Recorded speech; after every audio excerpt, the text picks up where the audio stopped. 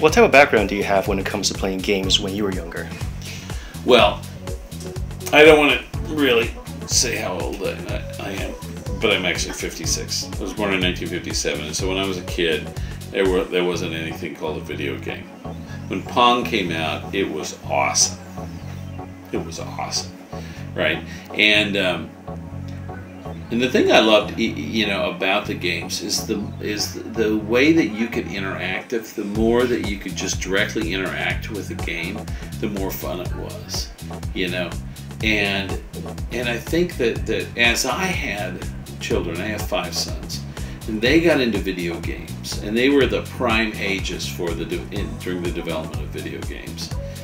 And I tell you, you know, it was so much fun seeing them you know, play the games and seeing it through their eyes. And I remember, you know, when they were really young, and I was, I was a young animator. Um, you know, Donkey Kong and Dig Dug, and those era of games came out, and they were, they were cartoony, and they had fantastic animation and stuff, and it was just the gameplay was funny you know, and fun, and the storytelling is fun, and that's what really got me excited about the video games is that extension of it. And then as we played with the family, we, you know, uh, with taking the Mario World and Mario Karts and Super Smash Brothers, the, the mashup of all those things, and the boys have really gotten in the first-person shooter games and the quest games, you know, and on and on and on. It was really great, and it's been so exciting to see the tremendous advancement of how great video games look.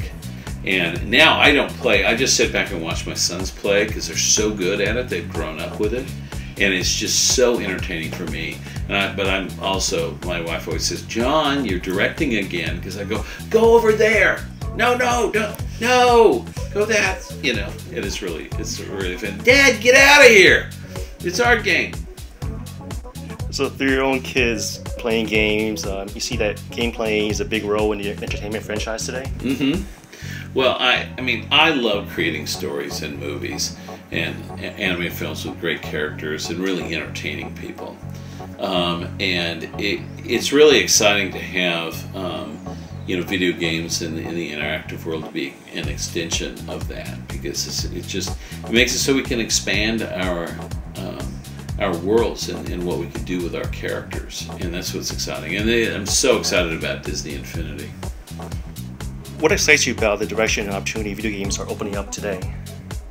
Well, I think Disney Infinity, it's hard to even call it a video game because it's so different. What excites me about this is how it's going to it puts more and more of what happens in the game into the hands of the user. It's up to them. Right?